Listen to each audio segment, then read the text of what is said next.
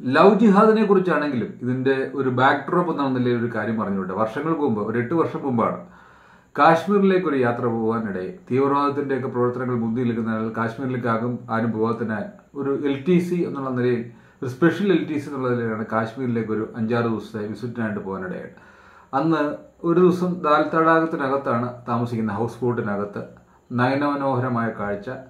അപ്പോൾ ഒരുപാട് ശിക്കാര വള്ളങ്ങളിലുള്ള യാത്രകളൊക്കെ കഴിഞ്ഞ് നമ്മൾ വൈകിട്ട് ക്ഷീണിച്ച് ഏഴുമണിയോടുകൂടി ഹൗസ് ബോട്ടിലെത്തുകയാണ് ഹൗസ് ബോട്ടിലെത്തുമ്പോൾ അവിടെ നമുക്ക് ആഹാരമൊക്കെ തരുന്നു. രാത്രി ഹൗസ് ബോട്ടിനകത്താണ് ഒരുപാട് ഹൗസ് ബോട്ടുകൾ തിങ്ങി നിറഞ്ഞു കിടക്കുന്ന ദാൽ തടാകത്തിനകത്തെ ഒരു ഹൗസ് ബോട്ടിലാണ് അന്ന് രാത്രിയിൽ താമസം. അപ്പോൾ അങ്ങനെ രാത്രിയിൽ അവിടെ ആഹാരമൊക്കെ ഹൗസ് ബോട്ടിനകത്ത് അറേഞ്ച് ചെയ്തു. നയനമനോഹരമായ കാഴ്ചയാണ് അവിടെ ദൂരെ നമുക്ക് ശ്രീശങ്കരാചാര്യരുടെ മല കാണാം. താരനിമിടമായ നക്ഷത്രങ്ങൾ നിറഞ്ഞ ആകാശം. പൗർണമി ചന്ദ്രൻ.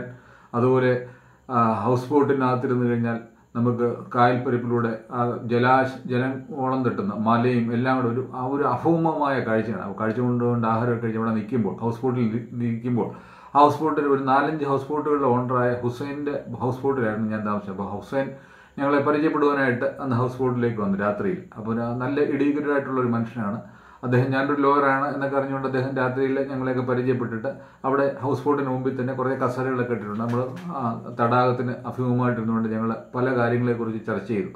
അപ്പോഴത്തേക്കും ഹുസൈൻ പ്രധാനമായിട്ട് പറഞ്ഞത് അവിടെ കാശ്മീരിൽ നടക്കുന്ന തീവ്രവാദമാണ്. ശരിക്കും പറഞ്ഞാൽ ഓരോ കിലോമീറ്റർ ഞങ്ങൾ ഇങ്ങോട്ട് വന്നപ്പോഴും സി ആർ പി എഫിന്റെ ഒരുപാട് ബങ്കറുകളും പോലീസ് സന്നാഹങ്ങളും വളരെ സുരക്ഷാ പരിശോധനയ്ക്ക് ശേഷമാണ് എയർപോർട്ടിൽ ഞങ്ങൾ ഇറക്കി വിട്ടത് ആ സമയത്ത്. അപ്പോൾ ഹുസൈൻ പറഞ്ഞു എന്റെ പേരൊരു മുസ്ലിം നാമധാരിയാണ്. നിങ്ങൾ വിചാരിക്കുന്നതെല്ലാം ഞങ്ങളെല്ലാം തീവ്രവാദികളാണ് എന്നുള്ള വിചാരമാണ്. എന്നായിരിക്കും അങ്ങേക്കുള്ളത്. തീവ്രവാദം അപ്പം മുസ്ലിം പാലസ്തീൻ വാറിനെ കുറിച്ച് പാലസ്തീൻ ഇസ്രായേൽ വാറിനെ കുറിച്ച് പാലസ്തീൻ നടക്കുന്ന സംഘർഷങ്ങളെ കുറിച്ചും അദ്ദേഹം പറഞ്ഞു. പിന്നെ അദ്ദേഹം പറഞ്ഞത് മുസ്ലിങ്ങളെ എവിടെ കണ്ടാലും കർക്കിച്ച് തുപ്പണം എന്നുള്ള അജണ്ട ജൂസിനുണ്ട് ജൂതന്മാർക്കുണ്ട് എന്നൊക്കെ പറയും. അത് അതെനിക്കൊരു പുതിയ അറിവായിരുന്നു. അപ്പം അന്ന് അബ്ദുൽ കലാമിനെയും അതുപോലെ ഷാരൂഖ് ഖാനെയും അബ്ദുൾ ഇന്ത്യയുടെ പ്രസിഡന്റായിരുന്ന അബ്ദുൽ കലാമിനെ പോലും ഷർട്ട് കോട്ട് അഴിപ്പിച്ച് അല്ലെങ്കിൽ അച്ഛനെ ചെരുപ്പഴിപ്പിച്ചൊക്കെ നിർത്തി സെക്യൂരിറ്റി പരിശോധനയ്ക്ക് വിധേയമായി. അദ്ദേഹം ഒരു പാവം പിടിച്ച മനുഷ്യനാണ്. അത്രയും നല്ല ഒരു സമൂഹത്തിൽ നിന്ന് നമ്മൾ ഈ പറയുന്ന സമൂഹത്തിൽ നിന്നാണ് ഈ അബ്ദുൽ കലാം വന്നിരിക്കുന്നത്. കഴിവുള്ള പല ആൾക്കാരും ഈ സമൂഹത്തിൽ നിന്നാണ് വന്നിരിക്കുന്നത്. അതൊരു അജണ്ടയാണെന്ന് ഹുസൈൻ എന്ന് പറഞ്ഞു. ഞാനത് പറഞ്ഞപ്പോൾ ഈ പലപ്പോഴും പല അജണ്ടകളും പലയിടത്തും വർക്ക് ചെയ്യുന്നതിനെ കുറിച്ച് ആലോചിച്ച് പോകുന്നുണ്ട് പലപ്പോഴും ഐ എസ് പോലുള്ള സംഘടനകളില്ല എന്നുള്ളതല്ല. ലവ് ജിഹാദ് ഉണ്ട്. പലയിടത്തും നടക്കുന്നുണ്ട്. പക്ഷേ കേരളത്തിൽ ഇത് കൂടുതലായിട്ട് നടക്കുന്നു എന്നൊക്കെയാണ് അതിന്റെ ഏറ്റവും വലിയ വിവാദം. അതായത് ഇന്ത്യയുടെ പല സ്ഥലത്ത് നടക്കെങ്കിലും കേരളത്തിലാണ് ഇപ്പം കേരള സ്റ്റോറിയൊക്കെ നമ്മൾ ഇറങ്ങി റിലീസ് ചെയ്തിരിക്കുന്ന ഒരു സമയമാണ്. കേരളത്തിലാണ് ഇത് കൂടുതലായിട്ട് നടക്കുന്നതൊക്കെ ഉള്ളതാണ് പ്രധാനം. ഇതല്ല ജിഹാദ് എന്ന് പറയുന്ന സംഭവം ഈ പദം കോയിൻസൈഡ് ചെയ്തത് നോർത്ത് ഇന്ത്യയിലെ ഹിന്ദുസിന്റെ ഇടയിലാണെന്നും കേരളത്തിലാണെന്നും ഒക്കെ പറയുന്നുണ്ട്. ലവ് ജിഹാദ് എന്ന് പറയുന്ന പദം കൊണ്ട് അർത്ഥമാക്കുന്നത് പറഞ്ഞാൽ ഇവിടെ മലയാളികളായ ഹിന്ദു സ്ത്രീകളെയും അതുപോലെ തന്നെ ക്രിസ്ത്യൻ യുവതികളെയും പ്രേമം നടിച്ച് അവരെ വിവാഹം കഴിച്ച് ഈ രാജ്യത്തു നിന്ന് കടത്തി മറ്റൊരു രാജ്യത്തേക്ക് കൊണ്ടുപോയി തീവ്രവാദ പ്രവർത്തനങ്ങൾക്കായിട്ടും അല്ലെങ്കിൽ മറ്റ് അജണ്ടകൾക്കായിട്ടും ഉപയോഗിക്കുന്ന ഒരു സംഭവത്തിനെയാണ് ലവ് ജിഹാദ് എന്ന് പറയുന്നത്. ഇതിനകത്ത് ലൈംഗിക അടിമകളായിട്ട് വരെ ഉപയോഗിക്കുന്നു എന്നൊക്കെ ഐ എസ് ഉപയോഗിക്കുന്നു എന്നൊക്കെയുള്ള ആരോപണങ്ങളുണ്ട്. ഈ ഒരു അജണ്ടയുടെ വെളിച്ചത്തിലാണ് കേരള സ്റ്റോറി ഇപ്പോൾ കേരളത്തിൽ സംപ്രേഷണത്തിനായിട്ട് എത്തിയിരിക്കുന്നത്. ഒരുപാട് ആൾക്കാർ അത് മൊത്തം വിശ്വസിച്ചിട്ടുമുണ്ട്. ഇത് ഇങ്ങനെയൊക്കെ നടക്കുന്നുണ്ട്. വളരെ വൻതോതിൽ നടക്കുന്നുണ്ടോ എന്നൊക്കെ നമ്മൾ വിശ്വസിച്ചിട്ടുണ്ട്. പക്ഷേ ഇതിനെക്കുറിച്ചുള്ള ഫാക്ട് ചെക്ക് ചെയ്യുമ്പോൾ നമുക്ക് ശരിക്കും പറഞ്ഞാൽ അന്വേഷണ ഏജൻസികളും അല്ലെങ്കിൽ സുപ്രീം കോടതിയും ഹൈക്കോടതിയൊക്കെ അന്വേഷിച്ചതിന്റെ വെളിച്ചത്തിൽ ഇത്തരം ഒരു പ്രവർത്തനങ്ങൾ നടക്കുന്നില്ല എന്ന് നമുക്ക് തീർച്ചയായിട്ടും കാണാം. അത് വൻതോതിലൊന്നും നടക്കുന്നില്ല. രണ്ടായിരത്തി ഒമ്പതിലാണ് കേരള ഹൈക്കോടതിയിൽ ഇങ്ങനെ ഒരു ഒരു പെറ്റീഷൻ വന്നത്. കേരളത്തിൽ ലവ് ജിഹാദ് നടക്കുന്നു എന്ന് പറഞ്ഞുകൊണ്ട്. അപ്പോൾ കേരളത്തിൽ അന്നത്തെ ഡി ജി പി ആയിരുന്ന ജേക്കബ് പുന്നുസാറിനെ രണ്ടായിരത്തി ഒമ്പതിൽ കേരള ഹൈക്കോടതി ഇതിനുവേണ്ടി നിയോഗിച്ചു. അന്വേഷിച്ചിട്ട് ഒരു റിപ്പോർട്ട് കോടതിയുടെ മുമ്പിൽ എത്രയും പെട്ടെന്ന് സമർപ്പിക്കണമെന്ന് പറഞ്ഞു. രണ്ടായിരത്തി ഒമ്പതിൽ ഇങ്ങനെ അപ്പോൾ അന്ന് അവർ നൂറോളം ഇങ്ങനെ വന്ന കേസുകൾ പല കേസുകൾ ഇറങ്ങിപ്പോയ കേസുകൾ ഐ എസിലേക്ക് കൊണ്ടുപോയിട്ട് ഇങ്ങനെയൊക്കെ അന്വേഷിച്ചുകൊണ്ട് ഒരു നൂറോളം പ്രണയവിവാഹങ്ങൾ എടുത്തുകൊണ്ടാണ് അവർ അന്ന് അന്വേഷിച്ചത്. അന്വേഷിച്ചതിന് ശേഷം അത് ശരിക്കും വിൽഫുള്ളായിട്ട് ഇറങ്ങിപ്പോയതാണ്. അല്ലാതെ ഒരിക്കലും ഇങ്ങനെ ഒരു ഓർഗനൈസ്ഡ് ആയിട്ടുള്ള സെറ്റപ്പിലൊന്നും ഇറങ്ങിപ്പോയതല്ല എന്ന് പറഞ്ഞ് ജേക്കബ് പുന്നൂസ് സാർ റിപ്പോർട്ട് കൊടുത്തു. അത് പിന്നെ അത് അൺഒഫീഷ്യലായിട്ടും അദ്ദേഹം പലപ്പോഴും പറഞ്ഞിട്ടുണ്ട്. അങ്ങനെയുള്ള പ്രവർത്തനങ്ങളൊന്നും നടക്കുന്നില്ല. അണ്ണ തികച്ചും അൺഒഫീഷ്യലായിട്ട് അത് പ്രേമമാണ്. മതപരിവർത്തനം ധരിച്ചതൊക്കെ അവരുടെ രീതിയിൽ തന്നെയാണ് എന്നുള്ള രീതിയിലുള്ള ഒരു റിപ്പോർട്ടാണ് രണ്ടായിരത്തി ഒമ്പതിൽ കൊടുത്തത്. പിന്നെ രണ്ടായിരത്തി പതിനാറ് പതിനേഴ് കാലഘട്ടത്തിലും ഇതുപോലെ ഒരു സംഭവം ഉണ്ടായിട്ടുണ്ട്. അതായത് സുപ്രീം കോടതിയിൽ ഇതുപോലൊരു ഹർജി കൊടുത്തു. സുപ്രീം കോടതിയിൽ ഹർജി കൊടുത്തപ്പോഴത്തേക്ക് രണ്ടായിരത്തി പതിനാറ് പതിനേഴ് കാലത്ത് എൻ ഐ എ കൊണ്ട് നാഷണൽ ഇൻവെസ്റ്റിഗേഷൻ ഏജൻസി കൊണ്ടാണ് സുപ്രീം കോടതി അന്വേഷിക്കാനായിട്ട് ഉത്തരവിട്ട് ഒരു കാലയളവൊക്കെ കൊടുത്തിട്ട് അവർ എൻ ഐ എ ഒരു പതിനൊന്നോളം പ്രണയവിവാഹങ്ങളുടെ പട്ടികയൊക്കെ എടുത്തിട്ട് ഇതിനകത്ത് വല്ലതും ഉണ്ടോ എന്ന് നോക്കി. അപ്പോൾ അതിനകത്ത് സുപ്രീം കോടതി അസന്നിഗ്ധമായിട്ട് വിധി പറഞ്ഞത് അങ്ങനെയുള്ള ശക്തമായ പ്രവർത്തനങ്ങളൊന്നും നടക്കുന്നില്ല. എൻ ഐ എയുടെ റിപ്പോർട്ടിനനുസരിച്ചും അത് പറയുണ്ടായി അത് അപ്പോൾ അപ്പോൾ തന്നെയാണ് ഹാദിയ കേസ് എന്ന് പറഞ്ഞൊരു കേസിന്റെ വിധിയും സുപ്രീം കോടതിയിൽ എത്തിയിട്ട് അതിനകത്തും ഇങ്ങനെയൊന്നും ഇല്ല എന്ന് കണ്ടെത്തിയത്.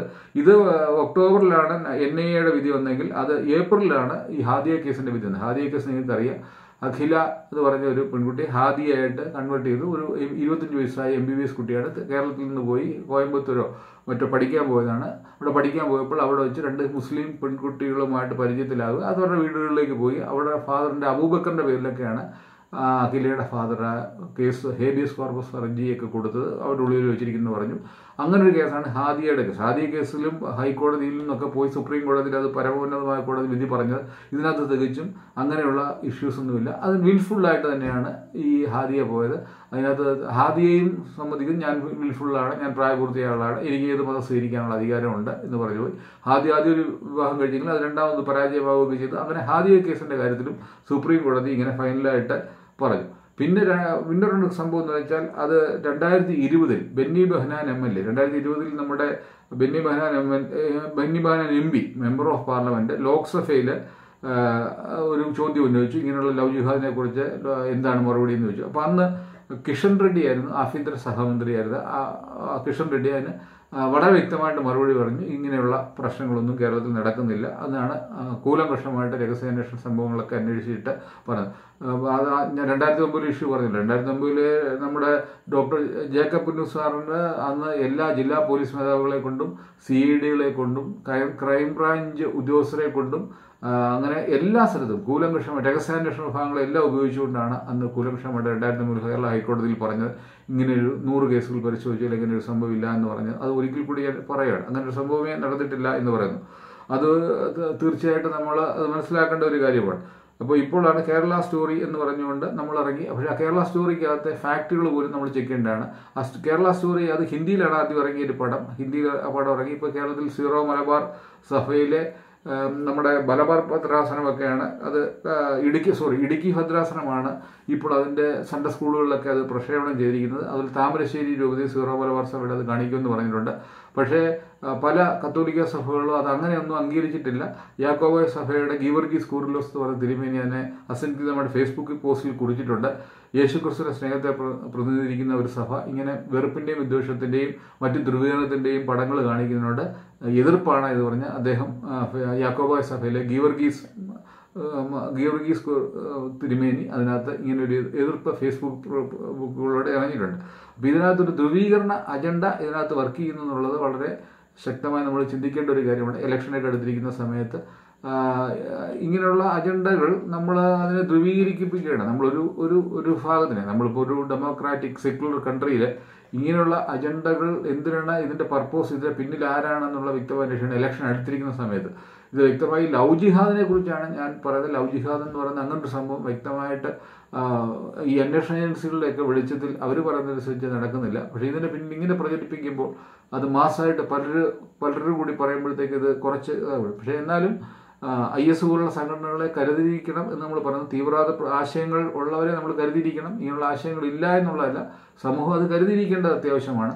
പക്ഷേ ഈ പറയുന്ന രീതിയിലുള്ള ലവ് ജിഹാദുകളൊന്നും നടക്കുന്നില്ല എന്നുള്ളതാണ് വ്യക്തമായ തെളിവ് കിട്ടിയിരിക്കുന്നത്.